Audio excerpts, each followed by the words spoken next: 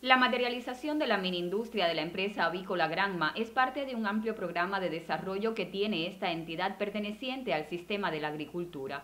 Inaugurado el pasado 12 de enero, este local tiene como objetivo cerrar ciclo con productos de alta demanda en el mercado interno y sobre todo de gran valor nutritivo. Por eso el producto líder hasta el momento ha sido el huevo de codorniz encurtido, teniendo en cuenta también la elevada producción en unidades donde se potencia esta crianza como la UEB Manuel Fajardo de Jiguaní.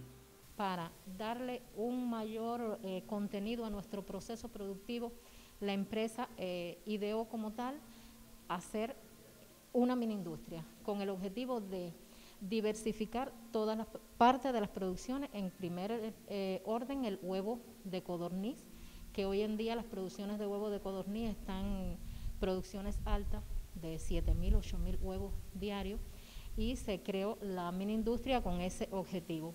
Diariamente se alcanzan aquí entre 300 y 400 paquetes de huevos encurtidos con destino a la población en ventas directas a través de ferias comerciales y para apoyar a programas sociales del territorio. Aunque ha sido un producto de gran impacto, la pretensión no es que sea el único.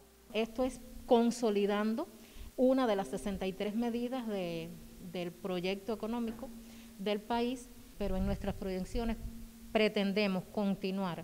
Eh, incrementando con el, trocito de fruta bomba, el dulce de guayaba.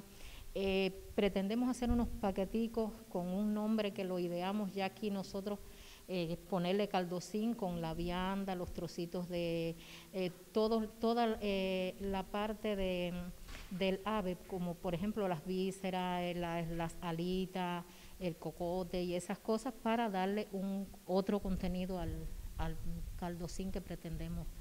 Entre los valores de esta mini industria no solo está la posibilidad de cerrar ciclo de producción dentro de la propia empresa, sino la generación de nuevos puestos laborales, el incremento de las utilidades con el consiguiente beneficio salarial y la innovación tecnológica sin afectar el presupuesto del Estado, pues cada uno de los equipos montados para el proceso es parte de la creatividad de los propios trabajadores. Catiusca León, en directo.